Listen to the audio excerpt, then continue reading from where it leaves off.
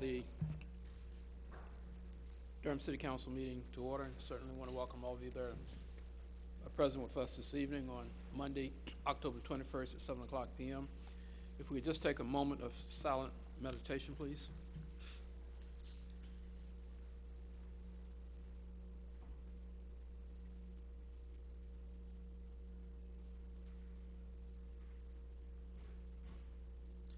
Thank you.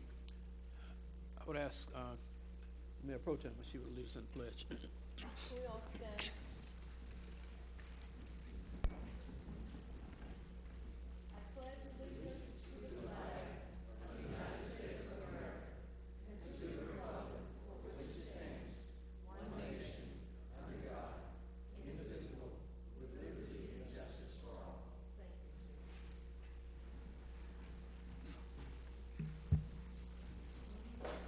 Ask the clerk if she would call the roll, please.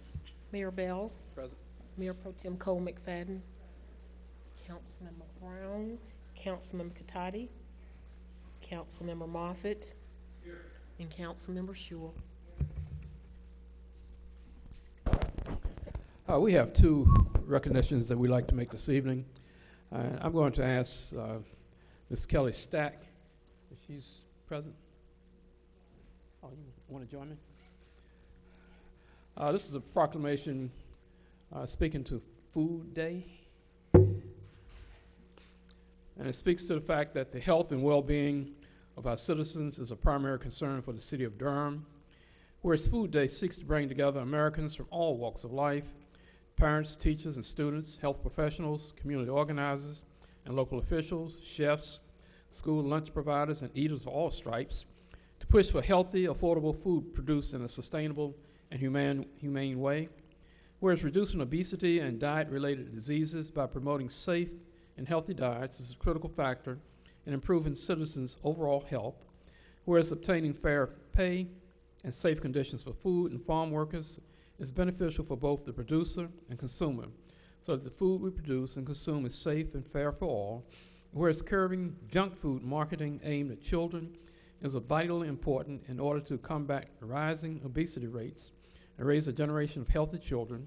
Whereas Food Day is a national grassroots campaign that seeks to change the way Americans eat and think about food, thinking of it as an Earth Day for food issues. Now, therefore, I, William V. Bill Bell, Mayor of the City of Durham, North Carolina, do hereby proclaim October 24, 2013, as Food Day in the City of Durham, and urge all citizens to participate in activities planned henceforth and encourage them to make smarter food choices. Witness my hand, Corporate Seal of the City of Durham, North Carolina. This is the 21st day of October, 2013. I'd like to present this to you for any comments that you might have.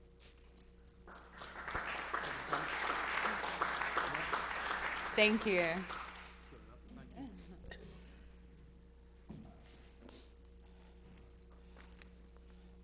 I'd like to ask uh, City Manager will join me in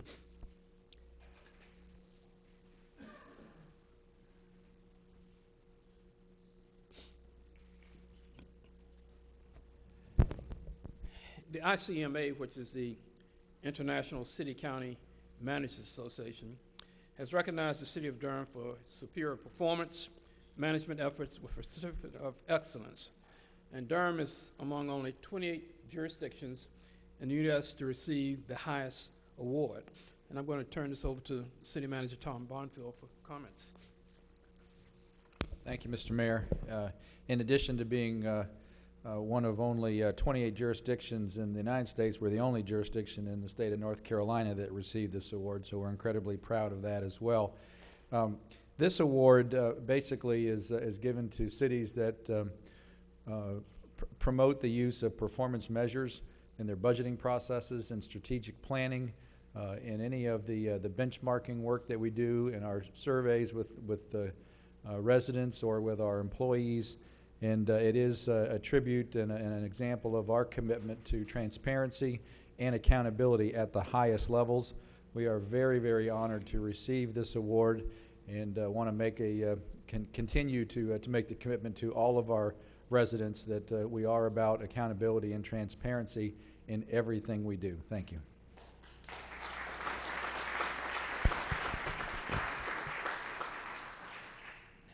The, the city of Durham has also received, for the second time, a Citizen Engaged Community 2013-2015 designation from the Public Technology Institute. And in this case, Durham is one of only 13 cities nationally to be given this designation. And some of the 13 winning cities include Dallas, Kansas City, Minneapolis, Philadelphia, San Antonio, and San Francisco. Thank you, Mayor. Again, we're very pleased to receive this award. Uh, th- This award really uh, uh, recognizes the city's accomplishments in the, in innovations in um, public engagement through the use of, uh, of technology uh, and, and various other um, uh, method, methods to, to, again, to um, promote our performance metrics, the application of all of the, the dashboards and those kinds of things that, that we have developed, as well as the, uh, the opportunities for citizens to be engaged in all of our public processes through the use of technology. Again, we're very pleased to receive this award. In both cases, um, I want to uh, say that the, these awards are also uh, uh, exemplify the incredible, talented staff that, uh, that we have with the city of Durham, who, uh, who work every day to, to make these things happen, not just when it comes time to, to apply for award or to receive a recognition. At this time, I'd like to ask Mr. Jay Reinstein, our Strategic Initiatives Manager, who uh, heads up many of these uh, uh, opportunities, to please come forward. Thank you, Mr. Mayor, Mr. Bonfield.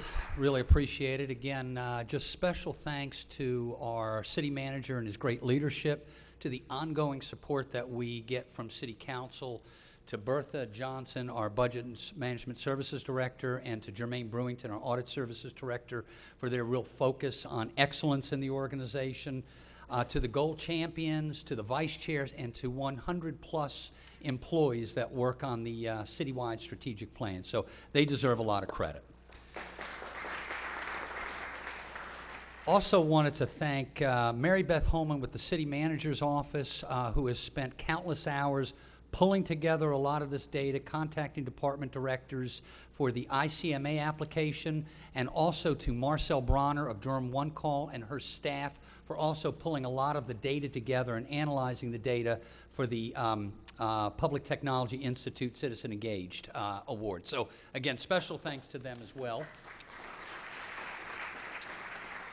And some final thanks to several departments, Technology Solutions, Inspections, Parks and Rec, Durham One Call, and NIS, for all developing apps or using technology that engages our, our residents. So they're doing some great work. Thank them. And finally, uh, we're doing some great things in Durham. And uh, again, we appreciate your support, and uh, we'll be in touch. Thanks. Thank you.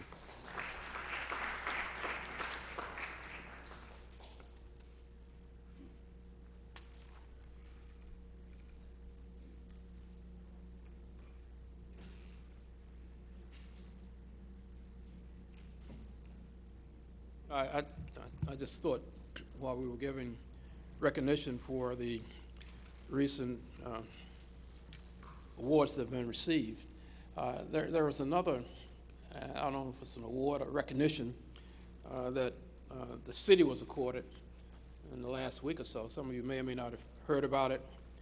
Uh, we, we were looked at as 100 cities in, across the United States judged on livability, and Durham was ranked fourth among 100 cities, coming behind uh, Palo Alto, Berkeley, California, Denver, Colorado, and number four was Durham, North Carolina.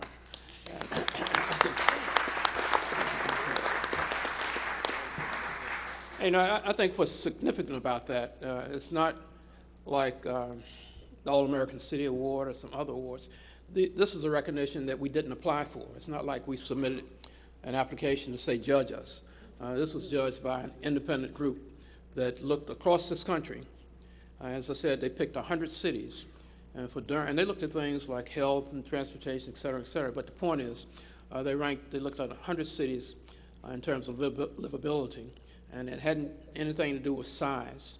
Uh, it was just a lot of core elements. But uh, for Durham to be given that recognition, I think speaks a lot about the city of Durham and what the citizens do to make this a place where great things happen. So I just thought I'd mention that.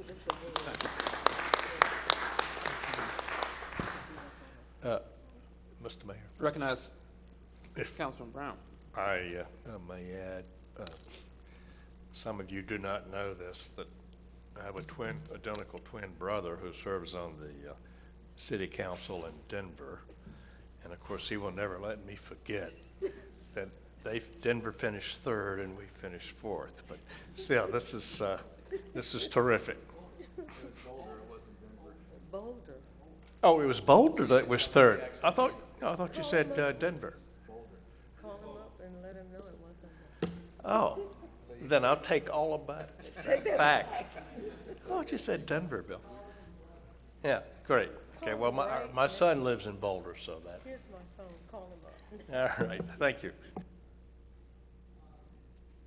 There are other comments by members of the council. Recognize Councilman Schewel. Dan, did I see your hand? Mr. Mayor, And Mayor thank Pro you. Tem. Uh, I have once again foolishly uh, challenged Durham employees to a five-mile run, Mr. Mayor. Uh, I was hurt this year, so a lot of them beat me. Um, But we had a great time, uh, and I have, uh, as last year, pledged to read the uh, names of the top finishers here uh, at City Council. Uh, First of all, I want to thank Dee Byers uh, for arranging all of this, and um, it was a great event. Little, uh, it- the drizzle held off, and we had a great time on the American Tobacco Trail. But the fastest runner was Anthony Wambui from Transportation, who ran 35 minutes and 4 seconds. Those are seven-minute miles, folks. That's really fast. Uh, Second was Eric Halstead from Public Works, right behind him, and then Roger Vroom from the Fire Department, then Randy Stewart from Neighborhood Improvement Service. We also had a uh, couple people who had said that they were, were definitely going to beat me this year and would have, had I not been limping along. They would have, they, they, they would have beat me anyway. But uh, one of them was Ted Jones and Keith Herman. Uh, Lloyd Schmeidler was there. Uh, Bo Ferguson was there from the city manager's office. And Bo, congratulations, you ran strong. Uh, uh, Tom Dawson, you didn't win, Bo. You didn't win. You didn't actually come close to winning, Bo. but it was great to have you out. Uh, Tom Dawson from planning, uh, Chris Yanuzzi from fire department was there with his 11-year-old daughter. Andrew Holland was there from the fleet, and Joe Clark. Dan Love, Jay Reinstein. Is Jay still here? Fast as grease lightning.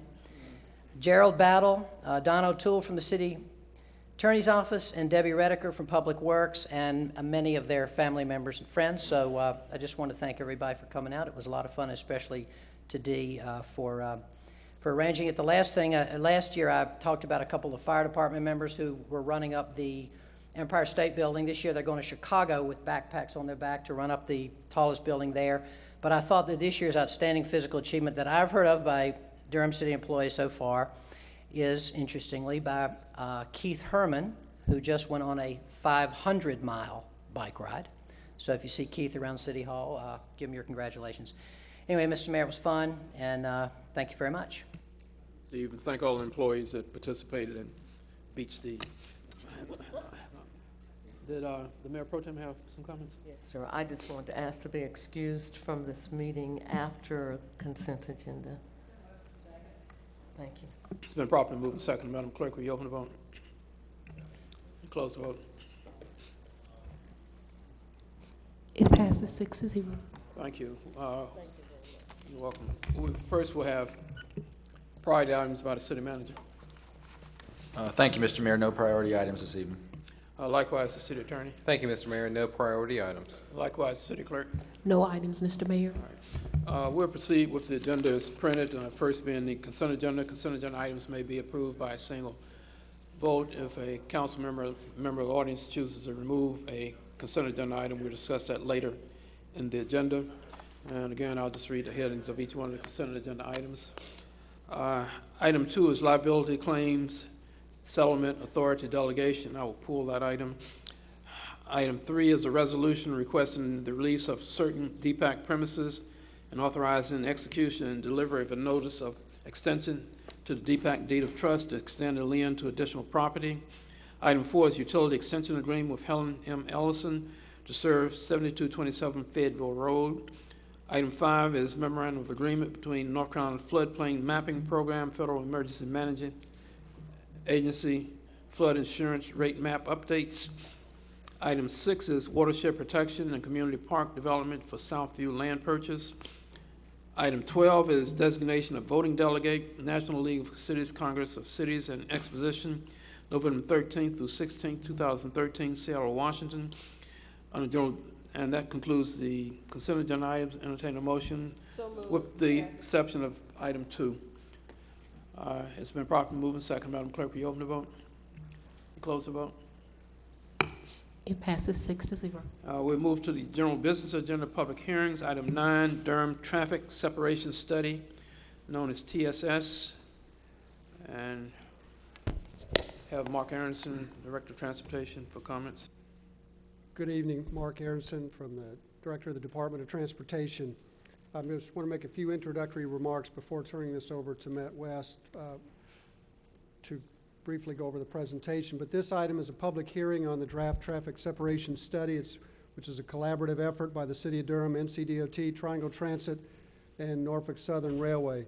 The study has been prepared over the past two years with extensive public engagement uh, to evaluate and recommend safety and mobility improvements at 18 different rail crossings in Durham. Notice of tonight's hearing was advertised on multiple dates in the local print media, It was distributed via the city's PAC listservs, and was reported by the media in several news articles. The full report is available for public review on the city's website. Hard copies of the report are available for review in the city's Transportation Department in City Hall and at NCDOT division offices at 2612 North Duke Street. Again, this item is a public hearing with the recommendation that City Council receive the comments and refer them back to the administration and study team for review, response, and consideration in the development of the final report recommendations. The final recommendations will be considered by council at a future meeting. The comment period on the study will remain open through November 18th. Comments submitted through last Wednesday have been provided as an attachment uh, to the council members as attachment item 11, number 11. Uh, We request that these and all of the comments submitted by November 18th be included as part of the public record. If you recall, at its October 10th work session, City Council received a presentation, detailed presentation of the traffic separation study. We have a shortened version of the presentation that we'll give to you tonight uh, prior to actually opening up for the uh, public hearing. But before turning it over to Matt West, I'd like to introduce just a few of the other study participants that have been involved in this study from NCDOT, TTA, and, and others. Um, in addition to Matt West from uh, Kimley Horn is Teres- Teresa Gresham. Uh, from NCDOT Rail Division, Jamal Pullen, Nancy Horn, and Sandra Stepney are all in the audience. From NCDOT Division 5, Joey Hopkins and Patrick McDonough from TTA. And with that introduction, I'd like to turn it over to Matt West to just briefly introduce the study. All right, thank you, Matt. Thank you, Mark. Good evening, everybody.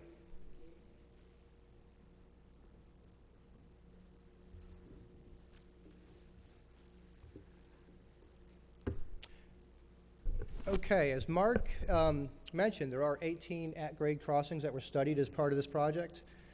Uh, They began basically on the west side of the county, up toward I-85, and as you see on the map there, kind of followed that rail corridor uh, through the center of Durham, uh, heading south and ending down at I-40, basically in that general, general vicinity.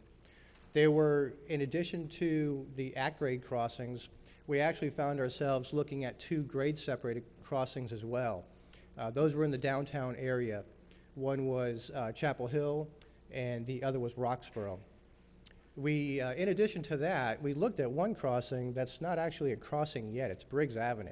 It's, it's um, threatening to be a crossing. It's set up that way. We thought it made a lot of sense to go ahead and study that. How will that look if that does become a crossing in the future?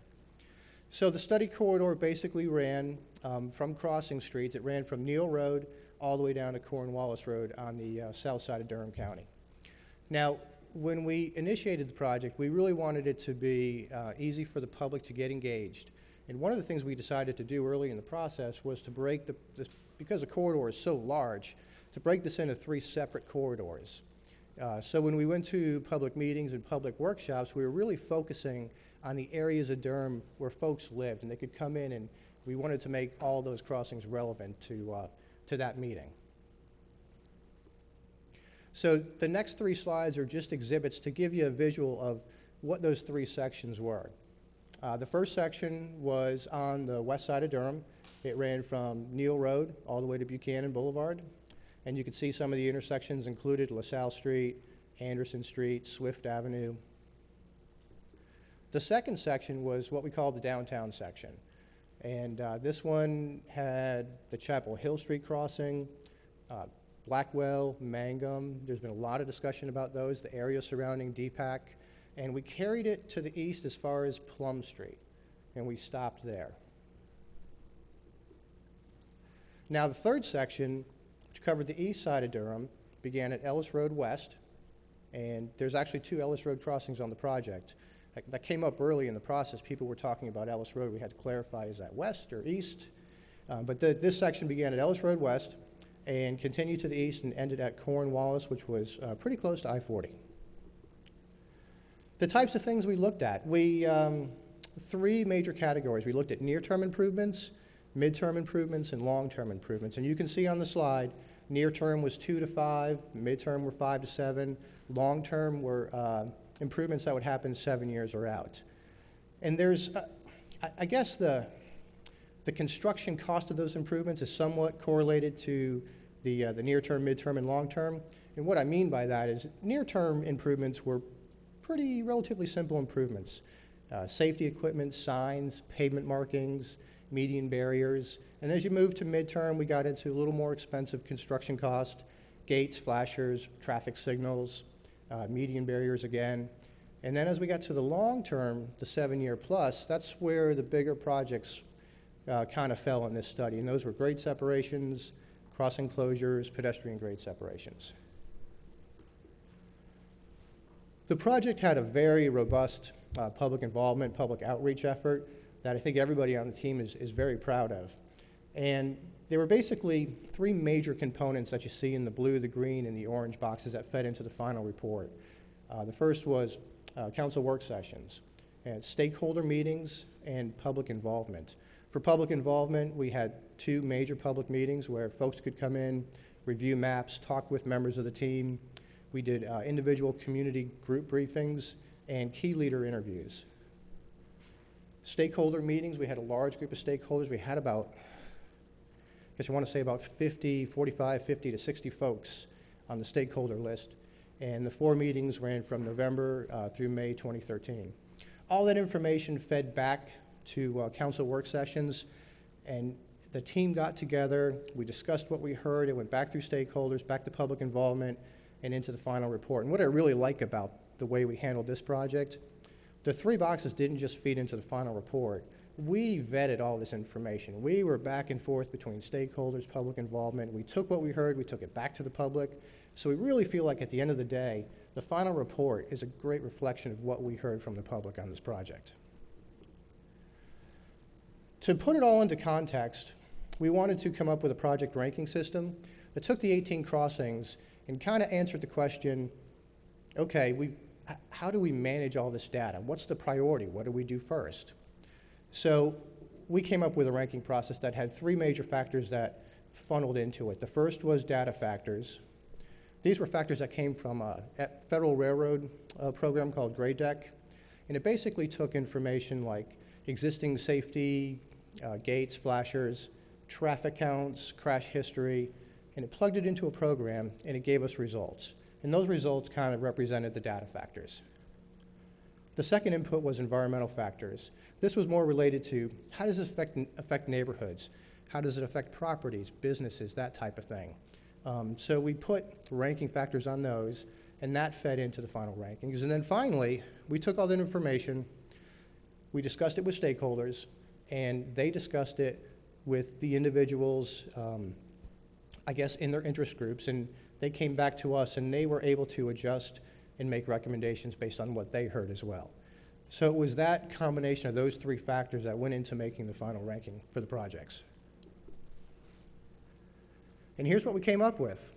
At the end of the day, with all that information, after two years of study and just a, an amazing amount of public input and uh, correspondence, we came up with a list of 12 long-term uh, grade separation recommendations. Some of these are uh, road separations and some of these are pedestrian separations, and you can see it there in the chart. But basically, number one, um, didn't surprise us too much. It was Blackwell, Mangum, and Roxboro Street. And just to point out a few, Ellis Road West, we, uh, going into this, we knew that was a, a, a dangerous intersection. So we were happy to see that one fall out based on the factors we put in as number two. So it seemed to make sense to us. And you can look at the list, and it goes all the way down to Neal Road, which was ranked number 12 um, at the bottom of the list of recommendations. So that's it. That is the presentation. So, thank you. Thank you. Let me ask, uh, this is a public hearing, and I want to know if any council persons may have comments before we enter into public hearing. Uh, If not, then I'm, I'm going to call the names of persons who have signed up to speak. I have 10 persons, and is there anyone out there that would like to speak, did not sign one of the yellow cards? Okay, uh, in that case, as I call your name, you you proceed to the podium to my right, and I would ask that you hold your comments to three minutes each, and then if we get further into the public hearing, we have to have more time, we can do that. Uh, The first is Terry Reckwick, Reckwick. Uh, Jeff Durham, Dan Jewell, Randy Hester, Eric Height, Robin, this is Heeks or Weeks, Doug Osborne, Lee Worsley, Gwen Silver, James Chavis. I said three minutes. Okay. Uh, uh, Now, is there anyone else that wants to speak on this item? Uh, If not, then the last speaker will be James Chavis. Terry? Okay. I'm Terry Rackway, and I live in Raleigh. I'm a transportation engineer, and I've been involved in planning for passenger rail in the Triangle for over 14 years. And this is a related subject to the Durham um, traffic separation study. Um, I'm proposing a revision to the Durham Orange Light Rail project so that it can be considered in the NEPA alternative study that's being done by Triangle Transit. Um, a revised plan would change the middle portion of light rail track alignment, and this is what it would do. Um, increase safety for vehicles and pedestrians by eliminating as many as 18 railroad grade crossings. And you know, for example, the Durham traffic separation study looks at how to improve 18 grade crossings.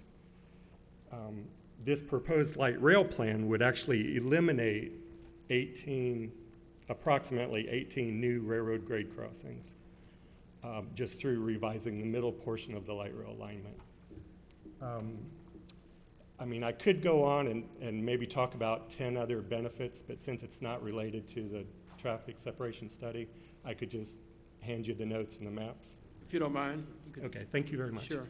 And for all of you that might be speaking, if you have written comments, uh, if you'd like to leave them after you've spoken with the clerk, so they'll be a part of the record, we'd appreciate it. Uh, Next is uh, Jeff Durham. Good evening, Mr. Mayor, members of City Council. Uh, My name is Jeff Durham. I'm with Downtown Durham, Inc. Uh, I'd like to say I appreciate uh, DDI, appreciates being a part of the discussions from the very first stages. And I think at this point where we've come, it's uh, worthy of congratulating everybody who has had an opportunity to come together and uh, begin to identify solutions which will actually serve to connect uh, our downtown and not, in fact, divide it. DDI fully supports the short-term alternatives and the identification of funding to continue work on these relatively low-cost upgrades, which will improve the safety and the aesthetics of the crossings downtown. DDI appreciates the top priority that was assigned to Blackwell, Mangum, and Roxboro crossings for further study of long-term alternatives. However, we would request an expansion of that list to include Dillard, Ramseur, and Duke because we think it's difficult to conceive long-term solutions which would not affect all of the crossings in the downtown. Although currently there's not much activity at the Dillard Crossing, the downtown master plan does in fact contemplate the redevelopment of the two car dealerships on the south side of the crossing into large scale, mixed use developments. With these parcels, if and when these parcels do get redeveloped, the Dillard Crossing becomes a very important part in maintaining the connectivity on the eastern end of the downtown. For this reason, we don't support the alternative to close the Dillard Crossing. DDI will continue to advocate for better connectivity between American Tobacco and Center City districts. We consider this to be a linchpin stretch of properties to ensure the downtown's vitality and recommend a long-term solution which will incorporate a grade separation for the rail lines while providing new public spaces for new and possible development alternatives. It is for these reasons mentioned that DDI supports moving forward by adopting the rail separation study in order to be in the position to pursue further funding, but without necessarily endorsing the specific proposed long-term alternatives. Thank you. Dan Jewell. Good evening, Mr. Mayor, members of the council. My name is Dan Jewell. I'm a landscape architect in private practice uh, here in downtown Durham. I've been working downtown since 1992. Uh, I've been coming to work almost every business day since then, and our office backs right up to the railroad tracks at uh, the corner of Ramseur and Corcoran Street, so I have more than a passing familiarity with the railroad. Uh, and in particular, the changes that have taken place on the south side of the tracks since the DBAP was opened in the mid 90s.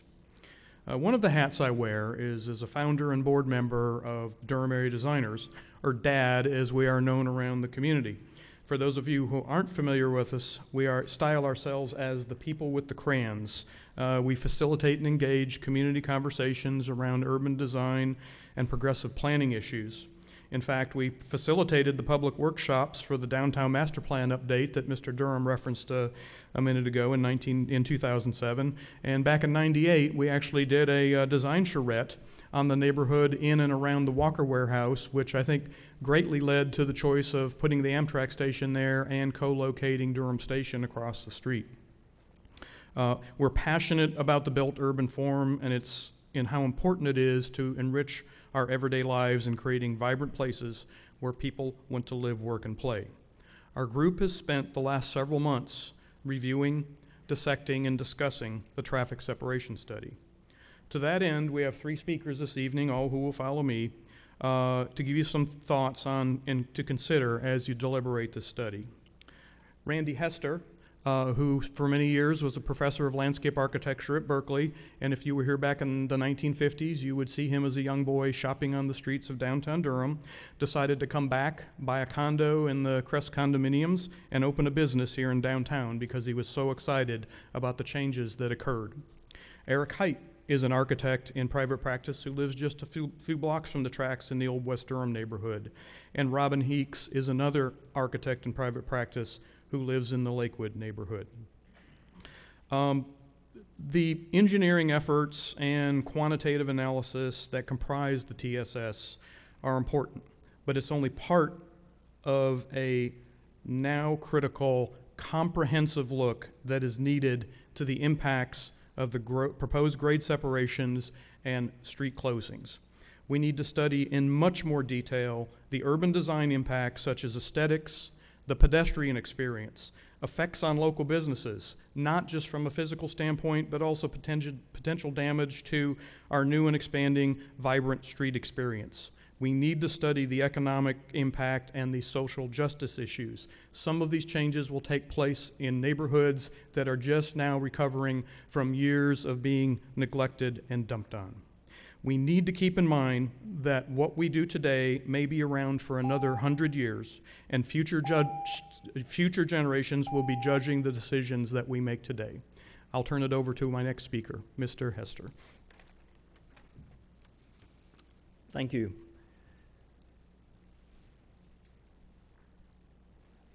Dad spent a considerable amount of time studying the central city part uh, the Mangum, Blackwell, Roxboro. And I think it, we should start by showing um, what we concluded from this. First of all, a few facts. You all know that we have invested between 50 and 100 million tax dollars to improve the Main Street and the downtown section here, and at the other end, the American tobacco. And it is dependent, not just for car traffic, but for pedestrian traffic to be able to eat downtown and to go to the Bulls. This plan, as proposed now, is far worse than the existing situation. It will create, you see here in red, beginning halfway down from Main Street on Blackwell, a concrete channel that eventually will get to 12 feet tall by the time you get to Ramseur. You will then, hopefully, without being able to see the traffic coming, cross Ramseur and go into a box a, that is 10 feet below the present grade. The red that is shown in here is all retaining wall. It is twice as high as the Chapel Hill underpass.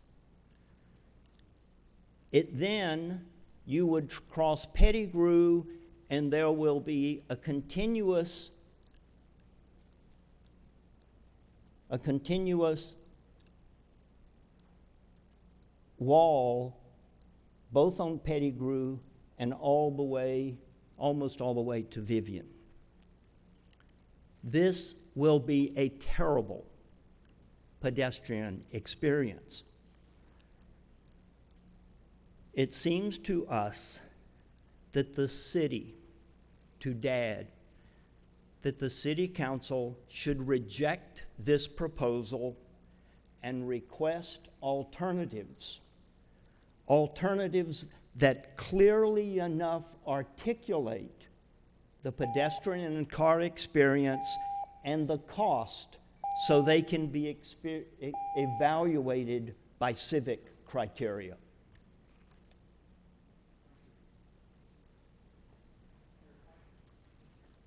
Hi. Uh, Thank you all for having me. Uh, My name is Eric Height. I'm an architect. Uh, I live at 909 Virgie Street here in Durham, and I also am a member of DAD. Um, I'd like to reiterate the support for the short and medium-term solutions uh, that are presented in the study, but I'd also like to bring some, some more detailed uh, specifics to your attention on the long-term solutions that I, I, th- I think you might want to be aware of. Uh, for, uh, just as one example, the Ellis Road West Crossing, which is the number two priority crossing in the report, uh, only behind the Blackwell Mangum uh, crossing.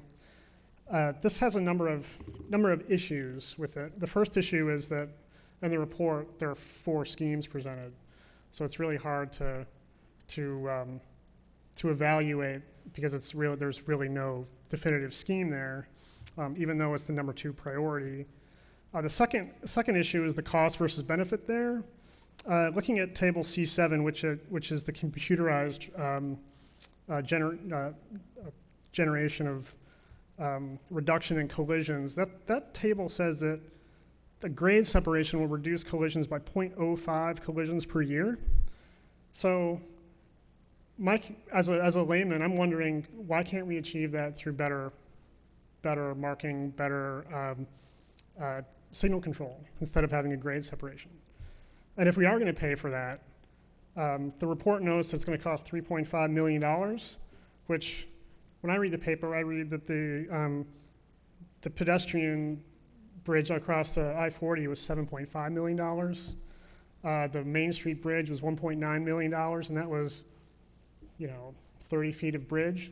This thing is a 30-foot high ramp that has a thousand feet, thousand feet of lineal feet of ramp, and between 200 and 400 feet of span. I don't think it's going to be a $3 million project. Um, so, so basically, the fourth, the fourth issue is, it talks about the East End connector, how, how that may actually make all this work obsolete, because once the East End connector goes through, it says you can, you can close that crossing. So what I want to know is why wasn't that, why wasn't that part of the comprehensive plan with this? Why wasn't all this taken into account? Um, and the last thing is the neighborhood impacts. Uh, the, there's four schemes. Two of them call for rerouting Angier Avenue. None of them call for any less than seven buildings to be removed. Um, one of them has like over 20 buildings removed. And it just kind of notes in passing that the impacts on the community will be variable. So essentially, I just don't think really there was an accurate accounting of the cost of these things or a lot of the alternatives. And I just think that we can do better. I think we need to go back to the drawing board on a lot of these and, uh, and see if we can do better for Durham. Thanks. Robin Heeks. I am Robin. I live in uh, Lakewood Park, and I'm a registered architect.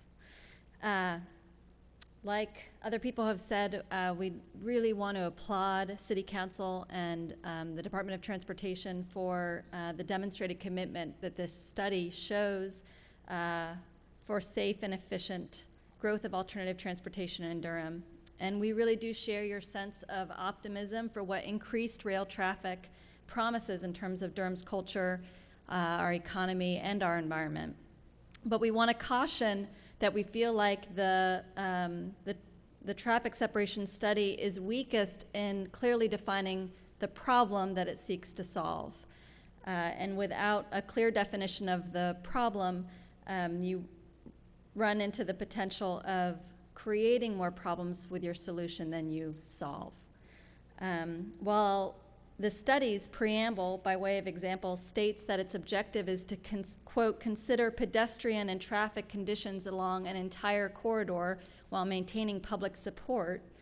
Um, it then goes on to list a very narrow and very location specific set of design considerations with no real mention of the larger urban questions, such as scale, aesthetics, uh, and the economic and social impacts that the study will have. Based on the study, we can assume that the main problems they're seeking to solve are con- congestion and safety. Um, but even then, the study seems to only propose two very narrow uh, solutions either moving trains or moving cars. And it neglects the many other factors that influence safety and congestion, such as streetscape design, wayfinding, and just the perceptions of safety. The danger of defining the problem too narrowly is that uh, the resulting isolated engineered solutions um, may create, as I mentioned, new problems, um, more problems than they solve. For instance, pedestrian inhospitable tunnels, underpasses, and closures, which is really the baseline for all the new grade separations that are proposed in this study, have the pedestrian going underneath um, a dark set of tracks. Um, also, as discussed, we're creating a new form of isolation that separates our city where we've worked so hard to create connections and transparency. This will be a very physical, this series, this kind of line of separations at the, in the downtown will be a very uh, real wall. Um, and there's scale issues where retaining walls and bridge structures, as that illustration demonstrated, dwarf or in some cases require the, um, us to demolish streetscapes and homes. Um, the other uh, thing that I think is really important to keep in mind is sight lines. Um, that there's a, an urban design issue where these new overpasses block the continuity and the unity that we've created um, between two sides of downtown. These problems can be avoided with bold solutions. And I'm going to pause on the beep and hope that there might be time for me to continue my thoughts later. Let- Thank you. Let's, let's do this, because I, I- I do want to try to get through the persons that have signed up, and if appropriate, we can come back. Mhm. But meanwhile, if you could prepare to leave your presentation with the clerk. I will. All right, Thank you. Sure. Uh, Doug Osborne. Uh, City Council, Mayor, my name is Doug Osborne. I am here for fairly selfish reasons. I own 305 South Dillard Street, which is the old Durham Fruit and Produce Building, which is due north of the railroad there at Dillard Street. Of course, I oppose the Dillard Street crossing. I can stand out in front of my building, I can look down and I can see the stadium, uh, the new courthouse, and the Diamond View buildings uh, from where I am. It's a logical pro- progression once Rick Hendrick shuts down his um, auto place for those uh, apartments we built there and have a further transition of redevelopment of East Durham going up Dillard Street, across the railroad tracks, where the new county building is, and further east along down Main Street. Um, I, I and my partners invested hundreds of thousands of dollars in that building, have worked with Durham Planning. Um, we did not have possession of the building two years ago, apparently when this process started, so I guess we weren't notified. Uh, but we put a lot of money uh, into that building investment. It's now been approved for um, open shelf space for lease or for sale. Um, I'm also an area realtor, and something like this would really put a damper on the downtown redevelopment, particularly when we're emphasizing walking, the traffic, the development coming up from the ballpark in that area down there. I, I just, I don't really quite understand why the railroad uh, should have precedence over the redevelopment that we have going on in, in the city here. So I'd urge you to really reconsider closing down these, these uh, intersections, including uh, mine there at Dillard Street. Thank you for your time. Uh, Lee Worsley?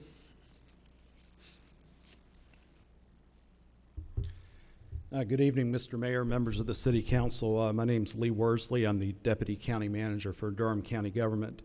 I'd like to provide a few comments about the traffic separation study and the potential impacts on the county government operations.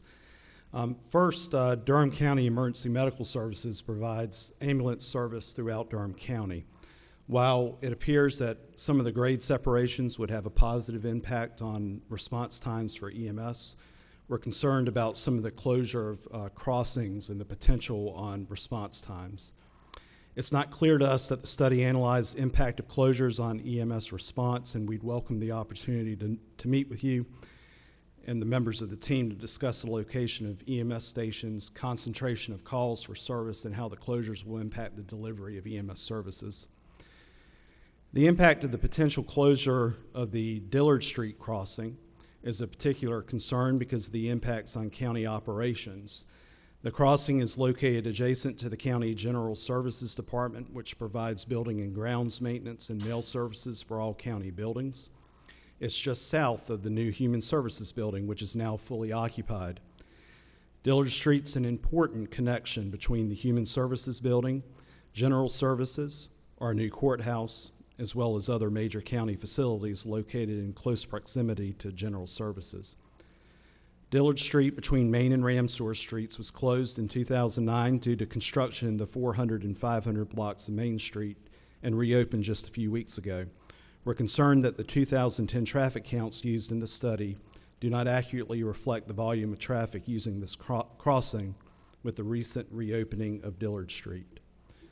While the county is supportive of crossing improvements that improve safety, we're also concerned about the impact on operations and service delivery.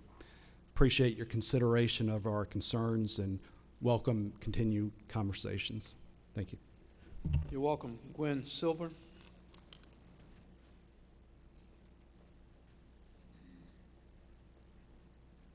Good evening, members of the council, uh, administrators, and the public.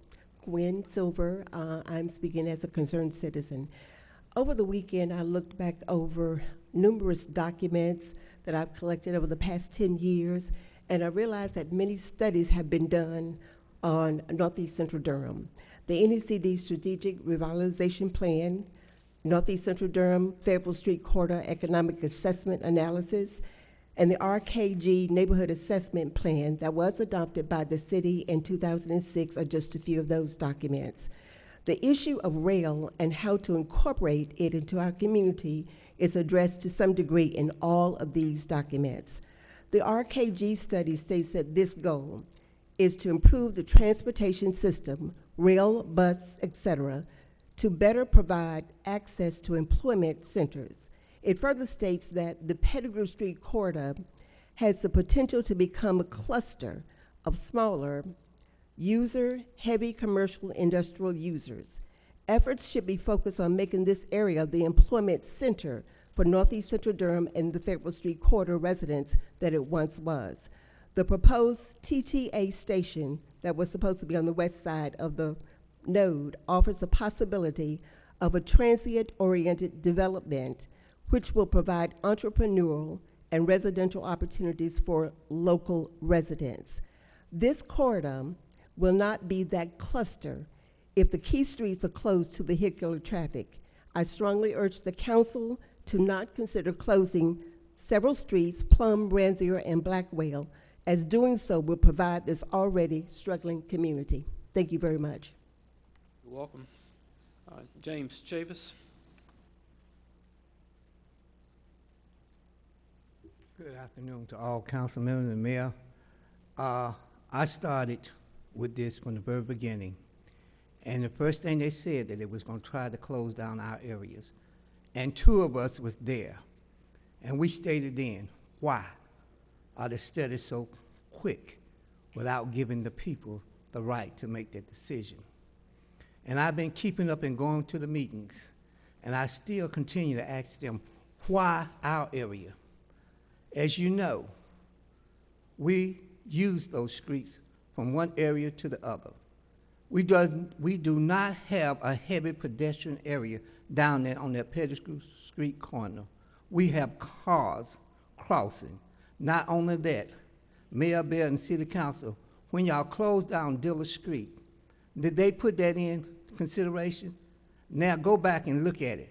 Cars are going back through helping Roxboro Street to not be as congested as it was. We use those streets, and we feel that you are blocking off our community from one side to the other because, as you know, those rails, if it be blocked off, they have not told you from one end to the other how long it's going to take and what kind of congestion it's going to make. It's going to be a long road congestion. Not only that, you take Angier Avenue all the way down and come around across Alston Avenue to come back up on Main Street.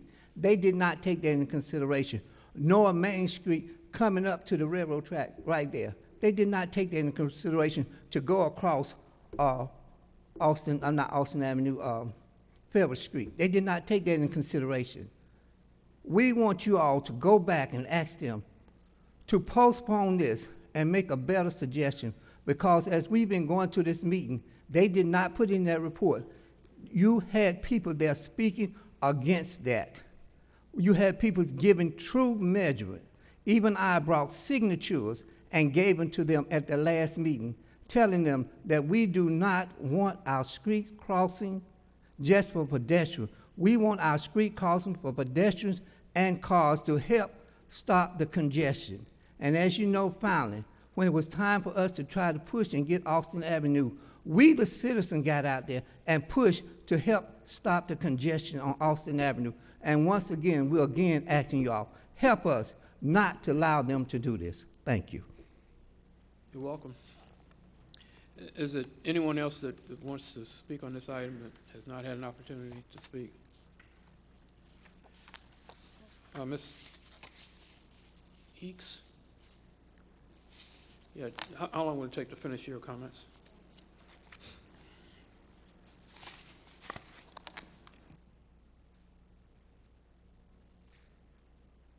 I appreciate it.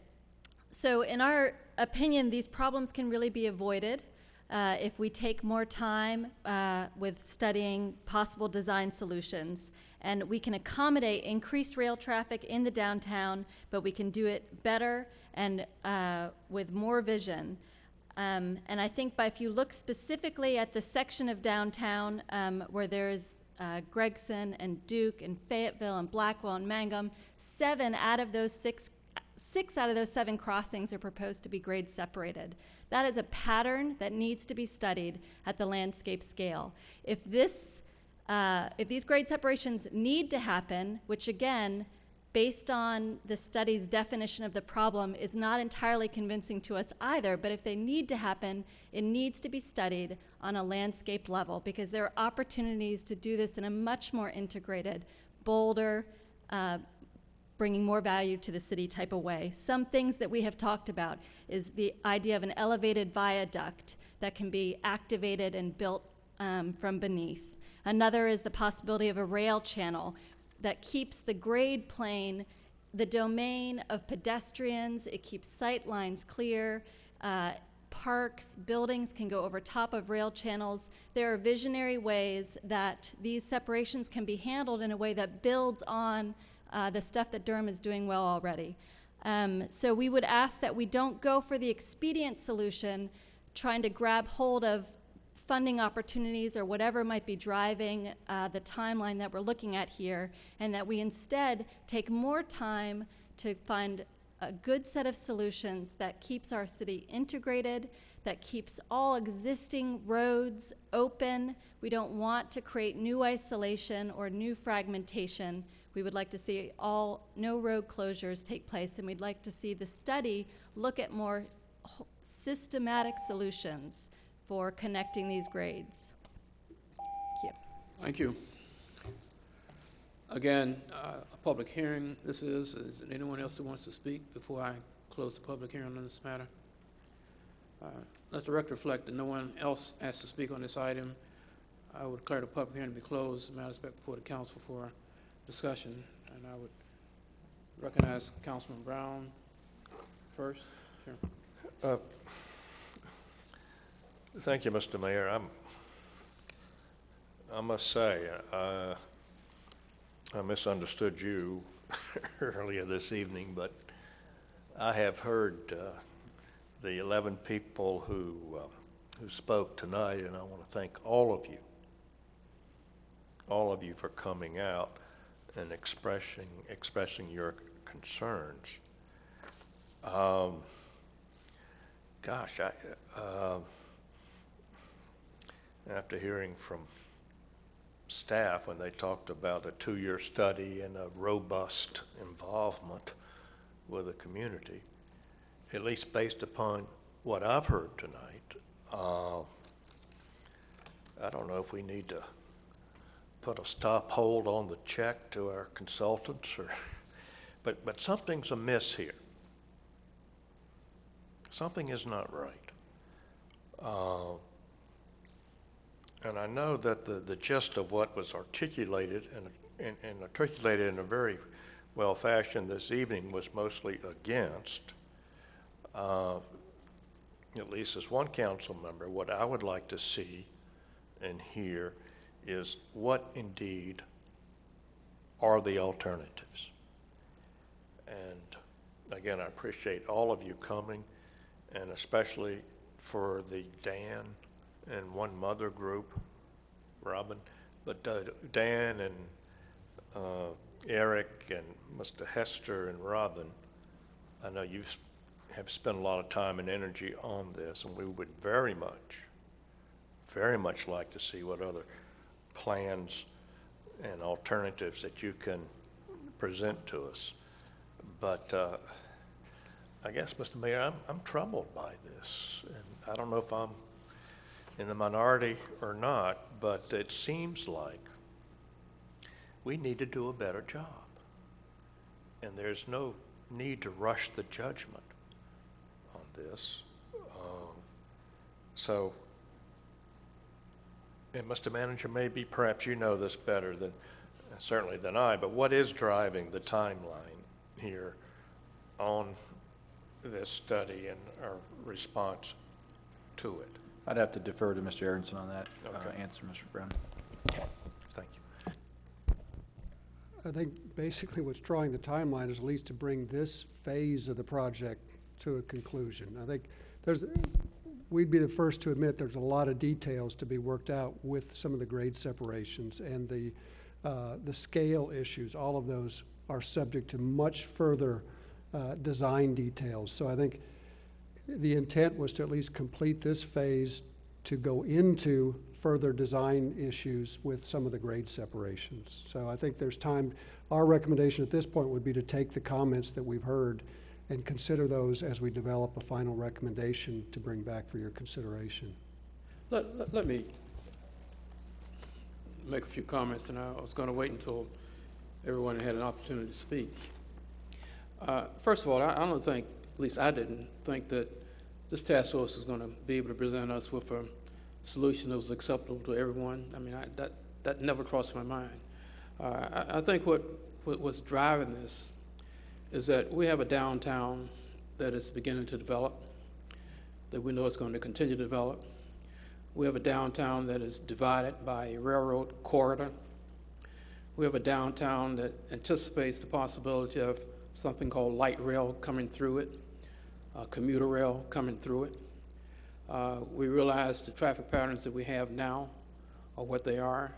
Uh, if we don't do anything, it's not going to get any better. And maybe that's what we want. Maybe we don't want to get any better. Maybe we just want to continue to design like we have now, across the tracks, across the tracks, and let the trains keep coming through, uh, and see how awful it gets to be when people try to cross it, when you've got a light rail system coming every so often, or when you've got commuter rail coming every so often, and you're trying to get it across. Uh, I didn't expect this to be the solution. Uh, what I was hoping is that we would create a straw man. And for some of you who may or may not know the term straw man, it's something that you put up that people can start you know, doing exactly what you're doing now, uh, proposing it, showing the pros and cons, and hopefully being able to come up with a solution. So I didn't expect this to be the end all for this, this issue. I only felt it to be the beginning. But we had to start somewhere. I mean, it took us some time to get these parties even to get together to agree to do the study. And then there was a little bit about finding who's going to pay what into the study to make it happen. So I didn't, I didn't come here expecting that this solution was going to be a solution to uh, all the problems, and this council will rise up and say, yeah, let's move forward. We haven't even talked about money. I mean, that, that hasn't even been discussed. You know, how much does it cost, and where do we get the money from to pay for it, even if we wanted to do that? So I, I'm not uh, disgusted with what's been presented. I'm not disheartened with what's been presented. I think it's a start. It's something that we can now start, you know, putting up and start saying, okay, how can we improve this? Uh, obviously, we've got to agree on what is the solution? What is the problem? What is the problem we're trying to solve? What is the problem we're trying to solve? I mean, I, I think the problem is what I said. We've got a downtown that's trying to develop. We have a railroad that runs smack down the middle of it. And railroads are going to going to continue their tra traffic. We've got a light rail system. We're hoping it's going to come on board. And how we mesh all these things together and still provide the type of growth and uh, livability that we just got awarded earlier. Uh, in, in this community. So I'm not disgusted by what we have. I'm not disappointed.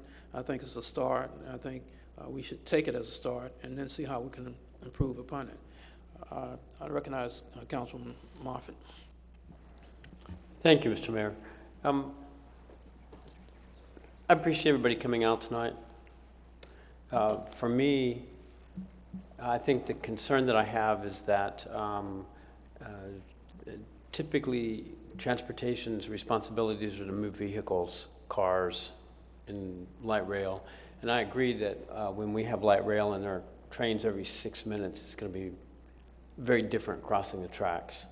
Um, but um, I think that some of the concerns that I've heard tonight, which I'm glad to hear, have to do with the urban fabric, the, the, the, the character of the city in which we live, and that the alternatives proposed so far don't seem to carefully take that into account. And I realize that these are just initial proposals, but I would feel a little more comfort if the alternatives were a little broader in terms of the, the, the kinds of approaches that they take.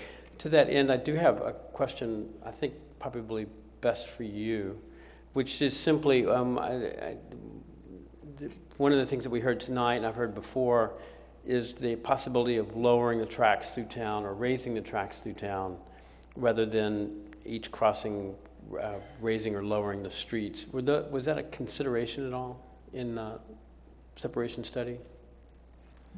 Uh, we had one criteria that we used throughout the project, and that was if the high-speed rail improvements by NCDOT had proposed a horizontal change in location of the rail line, we would look at a vertical realignment if that helped lessen the impacts of a particular crossing. Now that's, that held true everywhere except for downtown.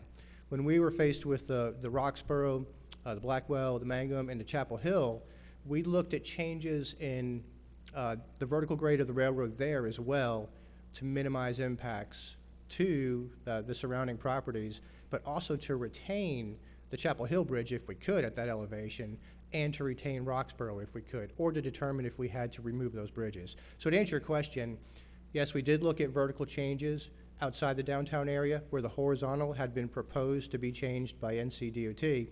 Um, but in the downtown, we, we looked at uh, vertical changes independent of horizontal change. I'm sorry, I'm a little confused uh, when you're talking about vertical versus horizontal changes. Um, Just be- provide some clarity on that. Sure, absolutely. If, if looking on a, on a plan, if the railroad was going to move left or right, forget about up or down, I consider that hor- a horizontal change. If it was going to move left or right, and we, we said to ourselves, well, we're going to move it anyway, so let's look at moving, it- moving it up and down as well.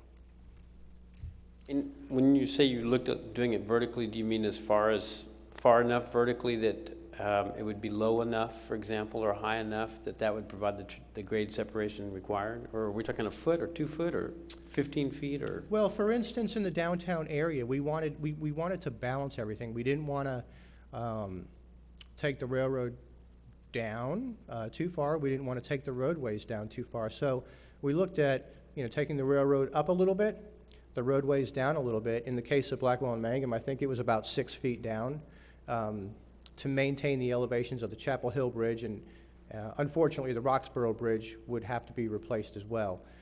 It was a, it was a crossing by crossing analysis. Everyone was a little different, um, but it wasn't necessarily black or white where we looked at completely taking the road under. Uh, we looked at balancing, if, if that answers your question. Thank you. Recognize Councilman Schewel. Thank you, Mr. Mayor. Mr. West, can I ask you another question? How do you, how do, how does your, how do the comments that you heard this evening comport with the study and your idea of what would happen next? I, I wasn't that surprised by the comments, to be honest with you. And Nothing should surprise you in Durham, Mr. West. I actually like a lot of the comments because people are thinking about it. And we've, in a traffic separation study, you can only take it so far. We stop well below a feasibility study, um, where a feasibility study would begin. We basically ask the question, the simple question, um, from an engineering perspective, is there a solution that allows this crossing to be grade separated? So we did some analysis, and we only took it far enough to answer the question yes or no. And in the case when the answer was yes, those came up as recommendations for closing. Now, is there a, are there different options to, to grade separated crossing? Yeah. Are there different aesthetic features you can, you can include? Absolutely. Unfortunately, this study, the funding associated with it, and the description of the study doesn't allow us to go that far. And we've always said along the way that at the completion of this study, we are set up for a document that will allow us to position ourselves for federal funding, allow the city to position yourselves for other funding sources to go ahead and do a feasibility study and, and study these crossings in more detail. So I believe Ms. Eeks is the, your name, if, if I'm correct, and she described, I believe, uh, the term was landscape level.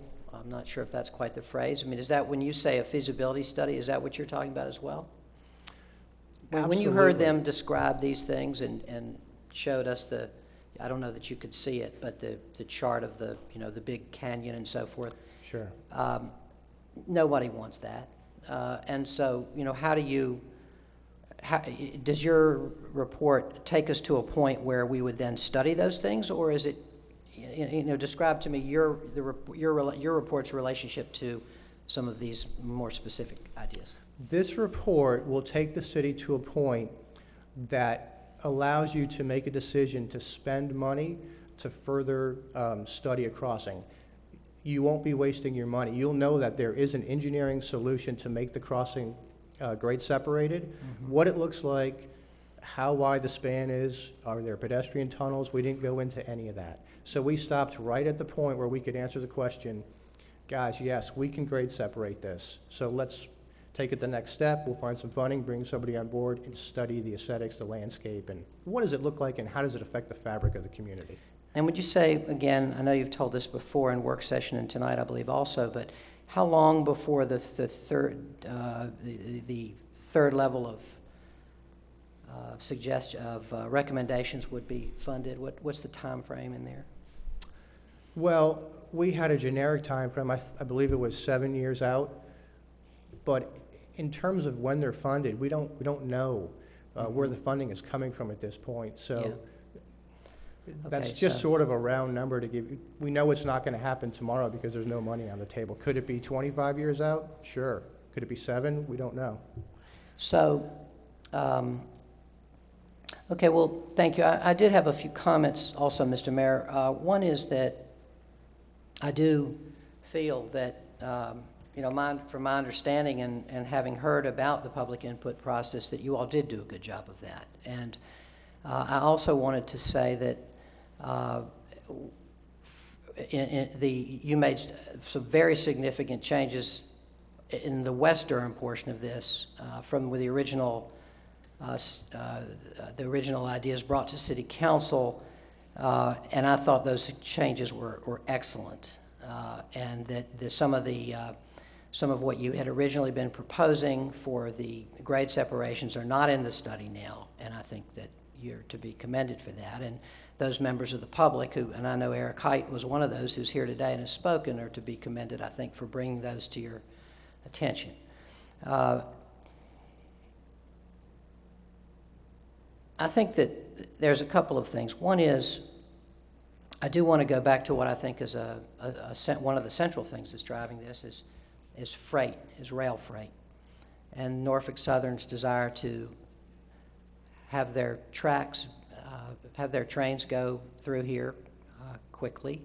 Uh, uh, It's my understanding they want two tracks through Durham, uh, where they now have one, and that uh, they, uh, that they are very desirous of these grade separations, which we've known for a long time. And I also think that we need to keep in mind that insofar as Norfolk Southern wants things, that our community also wants things. Our community would like to have uh, a reasonable price for the Beltline, for the Duke Beltline. Our community would like to have um, these bike ped uh, improvements that have been discussed a little bit tonight. And we uh, would like, yeah, there's lots of interesting ideas on the table already. A, a, a, uh, the possibility that's been suggested for a, for a sculpture trail down Ramseur Street. I mean, there are all kinds of interesting things that could be done. Um, and I just want to say, from my point of view, as insofar as Norfolk Southern is involved in this, I think that if we're going to, if, if we want to give them what they want, and some of the things that they want are, are important for us, just for us as well. Better freight traffic through Durham would be great. But we also need to have a discussion where the, the community is involved in that, and we are getting some response from Norfolk Southern other than just a flat no on the things that are important to us. And then I also think that the TTA rail alignment is also part of that. Very important part of what our community will want. What should the TTA rail alignment be? And I know that Norfolk Southern has some strong opinions on that and about how far the, the, the, the, commuter and light rail will be from the Norfolk Southern tracks. We need to have a, we, our community's desires need to be considered just as strongly as Norfolk Southern's desires in this, in this, uh, as this goes through. And then the other thing I wanted to say was on the funding. Um, it would be my hope that we actually, that uh, there is now uh, a new state highway funding system, uh, or transportation funding system, and one of the tiers is a statewide tier, and this tier is not scored with any local input. It's strictly scored on a, on a, on a numerical basis by the state, having to do with certain kinds of factors that they consider. Uh, and one of the fact, one of the ways to get into that top tier of funding is if you, it funds freight. It won't fund freight rail. It won't fund commuter rail, light rail, any kind of, anything like that. It won't fund bike ped, but it will fund freight. And so um, I think, in, in line with what the mayor said, said earlier about all the various considerations that we have going here, I would like us to get into the, I would like us to get the uh, central downtown um, uh, portions of this into the state scoring system. Um, and I would like us to, and we, we discussed this at work session with our staff, those of you all who are here tonight for the first time, the fact that we would like to do this without committing to street closings, which we do not want to commit to, uh, and with the ability to do these kinds of detailed studies of these uh, crossings that people have discussed tonight. But I do think if we can get into this scoring stream, uh, we have a chance to get started on getting some of these things funded, and then we can make the discussion real. If we don't get into the state scoring system, uh, I- what I fear is that we, and into the, started getting to the stream, what I fear is that over the long, it- it- we'll, we'll never be able to solve any of these solutions. We are going to be left, as the mayor said, right where we are now. Um, And I don't think when we have 100 trains coming through here every day instead of six, then we're going to be happy with that. So I think we should try to move the, the, move our, the central downtown uh, uh, uh, crossings into the state scoring system with the understanding that we're, we're not, we're not committing to closing anything, uh, and that we are interested in, uh, in, in these very specific, uh, look, look, uh, very specific looks at these uh, individual crossings uh, with, the, with, with, with our community's interests in mind as well as the railroad's interests in mind. So thank you, Mr. Mayor. Recognize Councilwoman Catotti. Thank you, Mayor. Um, I just want to say that I really appreciate all the careful study and the input and um, consideration. I think uh, this is an important first step, and that is exactly what I consider it, a first step. And that when it comes back to us, maybe by December or whenever we think it might come back, that, um, that will move the process along and allow us to move forward for future feasibility studies, which at the work session we discussed would happen crossing by crossing. So I do think downtown is particularly important and that there's quite a lot to talk about. But I think the concerns that were raised here and in the past are all completely on the mark. Safety, pedestrian accessibility, concerns about closure, social justice, a whole host of issues. So again, I consider this a first step and an, a, a good, well-done one, and that a lot, there's a lot more to come. I, I think when it comes back to us, um, we may look at it as an acceptance of the report as opposed to an endorsement of the particular recommendations. So we'll see what happens between now and December. So again, thanks for um, everyone for their work on it and the considerable input, and keep the good ideas coming. Thanks. Are there other comments, questions? Recognize Councilman Brown. Yeah, I, um, and I I certainly appreciate, uh, and in many ways support what my, uh, my colleagues have said, and, uh, including the mayor and Steve and- and Diane. Um, and a lot of people do not remember this, and I don't, but I read about it, that it turned the century Durham, which was really built by the railroad and railroad crossings, had, I think it was 108 trains daily to come through here. Um, But I'm going to take my rose-colored glasses off now, and I'm going to suggest something that some of you do not want to hear. And uh, keeping aside the fact, as a caveat, that we're up here to plan for the future. And we intend to do that. But uh, I must say, I was at the uh, League of Municipalities meeting, their annual meeting in Hickory, North Carolina, earlier this week, and, and heard directly from the uh, director of uh, the North Carolina Department of Transportation. And uh, he laid out some rather uh, compelling facts. Number one, demographically, our population is increasing. And two, it is increasing at a rate that does not meet up with our the budget for what needed to be done in the state for a viable transportation system.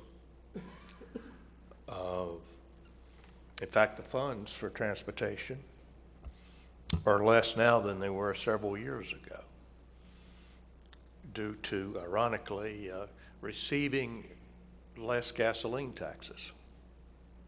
Because, thank goodness, our cars are now more fuel efficient. Uh, So we are at a real dilemma here, folks, as he pointed out. And as some of you know, we've had our um, we've had some dispute with the current makeup of the General Assembly, and not just the makeup, but more importantly, the actions that they have taken. And even though the Transportation Secretary laid this out, I doubt that there will be uh, any votes to sustain an increase in what we need to have, and that's the gasoline tax. If we're going to maintain what we have, much less add to it. Secondly, I came away with the feeling, and I hope, I hope I'm wrong, because I've supported, be it light rail or commuter rail, what- whatever you want to call it, uh, for years. I came away with the feeling, when you look at the aggregate budget for transportation in the state, that uh, these proposed rail systems are basically a footnote to the overall budget. Uh, So I don't look for the necessary funds that really are needed to, to put this on the map for perhaps many years to come. Uh, Because, I mean, is anyone here who thinks we're going to get the necessary funds from the federal government? And so we're not going to get them from the state. So hmm, what happens to a dream deferred? But that's the harsh reality, I think, of what we're looking at now. Uh, Because we have, as, as the mayor pointed out, we really have not discussed the budget implications of all of this. We really haven't talked about what's a fair approach to uh, Norfolk, Norfolk Southern payment versus the taxpayers of, of the city of Durham. We haven't even gotten to that point yet. But um,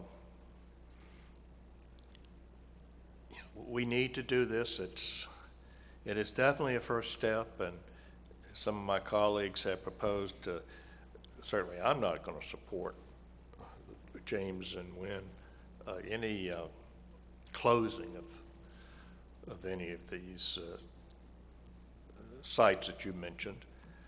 Um, But I think we need to approach this in closing with a very realistic look at what's coming down the pike. And what's coming down the pike is less funds to even maintain what we have now. And I would suggest that, that above all, be it in city government or county government, and certainly at the state level, we first and foremost must support what's already in existence. Uh, To do less than that is a disservice, I think, to our community and to our state. Thank you, Mr. Mayor. Welcome. Recognize Councilman Schewel. Thank you, Mr. Mayor. Just one more thing. Uh, Just trying to build a little on, on what uh, Eugene was saying. I think one of the, one of the reasons to try to get this, uh, parts of this now moving towards statewide scoring is that, is, is just for the, is just because of what Eugene is saying about the lack of money for light rail and commuter rail. There is no, in the statewide, uh, the, the biggest tier of money in the three, there are three tiers now in, in transportation funding in the state under, under the governor's plan. And the, the, the largest of those tiers is the statewide funding. That's about 40% of the money. Um, there's no, as I said, local input into that, but that's where the most money is, and it does fund freight, but it doesn't fund light rail or commuter rail. So if a very important, if a very significant and expensive part of light rail and commuter rail, which I want and our community wants and is voted to support with the sales tax and so forth, is right through downtown Durham, how can we help, how can we help get some of that funded? One of the ways to get that corridor funded is to get state funding for the freight, which is the same corridor. So I think if we're trying to think long-term about how to fund our rail system, and I agree with Gene, we're in a bind, uh, one of the possible ways is to get this quarter funded through the state tier of funding, uh, which will fund freight rail. So I think that if we can get into that scoring stream uh, with the idea that we will be looking at all of these individually, that we're not committed to closing anything, uh, which I agree. I certainly, we, we're a long way from, from that, uh, if we ever do it. Um, I think would be a good idea, and I think it will advance our community's goals uh, in terms of the light rail and the, and the, uh, and the commuter rail. Thank you, Mr. Mayor. Okay, um, let me s- suggest that as, as we move this along, uh, initially we were talking about possibly something coming back to the council in December timeframe. I don't know if that's reasonable or not, but if in case that does come back, I- I'd like a little bit more uh, recommendations relative to these short-term projects that were part of the, uh, the proposal. Uh, And uh, again, this is just a start. Uh, As I said, for me, it's a straw man that we ha- now have something to uh, really speak relevant to. And uh, I just want to approach it at that point. So if there's no further discussion, I entertain a motion to move it back to the staff as it already is. Uh, Recommendation that they come back to us as soon as possible.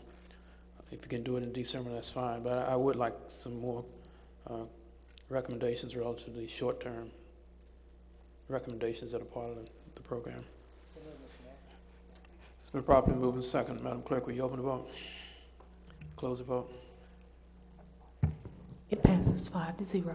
Okay, Thank you. Thank all of you for, for being here. We have one other item that we need to deal with, and that's the uh, consent agenda item two.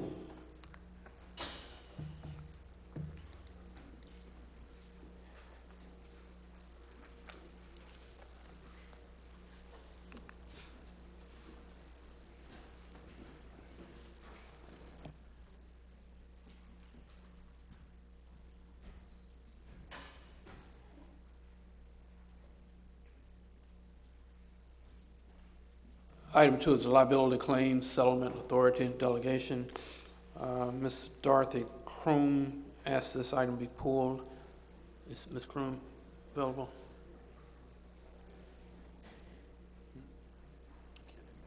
All right. Is Ms. Kroom in, in audience? Oh, okay.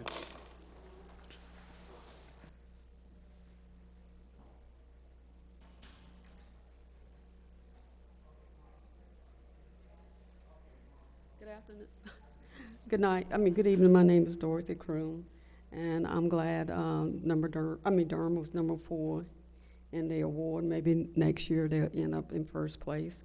Uh, the reason I'm here tonight is because uh, uh, excuse me. I'm sorry. The reason I'm here tonight is because of our um, case uh, before um, the DRB and Board of Adjustment. We have not been given the opportunity to present our case, and uh, I am really concerned about that going forward.